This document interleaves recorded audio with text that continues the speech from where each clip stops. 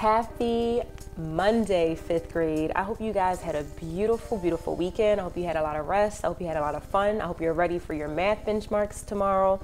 Um, and in the meantime, I am excited to begin report period two with you guys and our beautiful new book, Thunder Rolling in the Mountains. But in order to get us ready, we need to have a little bit of background knowledge about some of the tumultuous history between Native Americans who were indigenous peoples of this country and the early, early settlers, the white men that came from Europe. So, in order for us to learn more information about this, I have collected a few resources that I want you guys to explore today for your class. We want to try to aim to answer this question for this report period. We want to answer how do the beliefs and values of a culture guide the action of its people. And in order for us to do that, we need to learn more about the beliefs and culture of a people, especially Native American people and then the early um, Europeans who settled here. So, in order to do that, I pulled a few resources that I think you guys are gonna love. There are videos, there are books, there are photographs, there are poems, and these are mostly from the voice of Native American people. So it's from their perspectives, they're telling their own stories. So what you're gonna do is you're gonna dig deep, dive into these resources, and then let me know what you've learned for grade today. So without any further ado, let me show you where everything is now on Schoology, and let's get started. Well, when you come into Schoology, um, the first place you wanna go to explore is report period two, it says who's home. You should see our story, thunder rolling in the mountains, um, as well as two images. Um, if you click here on the report period two, um, if you go here to Monday, November 16th, this is just going to be an overview. So this is where you are right now. So in the day's overview, there are three things. Um, you can complete the homework from November 11th through the 14th. That's going to be in the RP1 purple folder. Remember, we did purple then yellow for B. Diedrichson. This is all the homework that you had assigned after benchmark testing. So if you have not done that, that's a good place to start.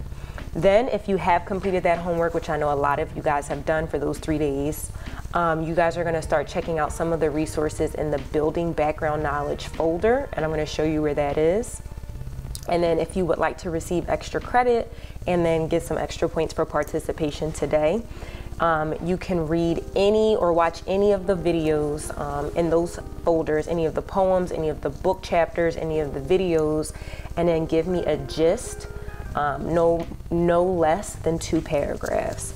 Again, you're going to give me a gist. I would like to see no less than two paragraphs, especially if you're challenging yourself by reading some of those um, college level texts that I posted up for you today. All right, so let me show you where everything is.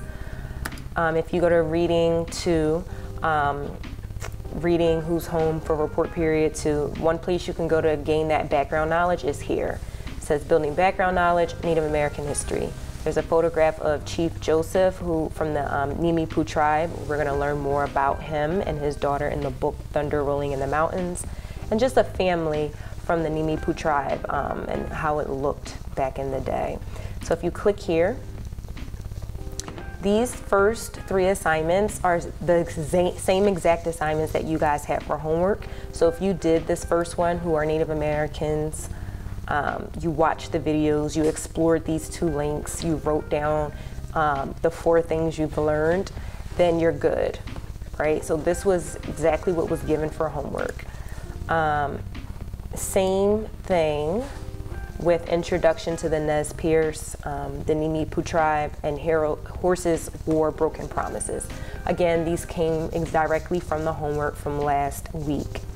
Some new things that you can take a look at. Um, Nez Perce Country, Chapter 1, Before the White Man. This is a source that came from University of Penn. So if you click here, it's going to take a minute to load.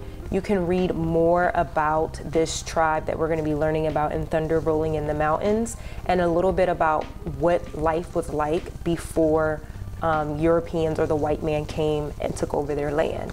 So this is one where you can write a two paragraph summary about what you've read. For all of those who want a challenging reading, this is a good place to go. There are also three videos that are posted, and I think that even if you feel like you don't want to do a reading, or if you want to do a reading but you don't necessarily want to watch the videos, I think there's a lot to learn in these videos.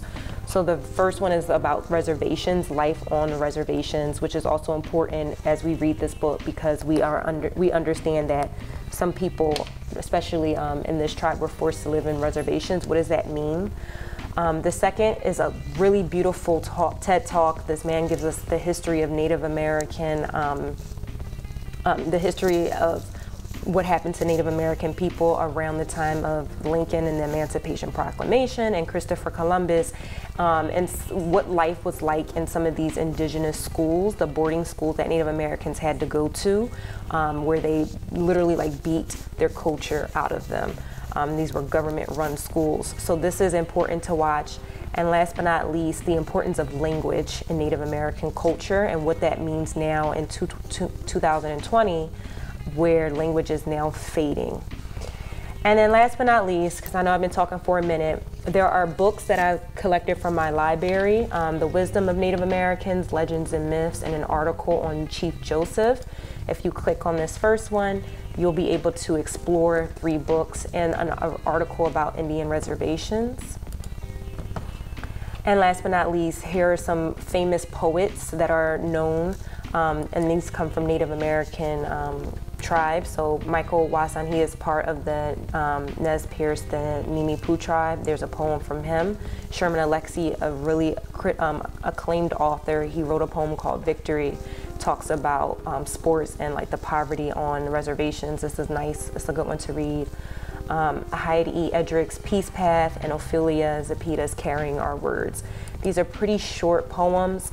Um, this one's really powerful. So all of these resources are available to you. Once you've picked a few that you really like, that you resonated with, then I want you to come to Monday's folder and here's where you can tell me what assignments you worked on and then write your gist or your summary for the videos, the poems, or the book articles. So I hope this was helpful and I cannot wait to see what you guys learned.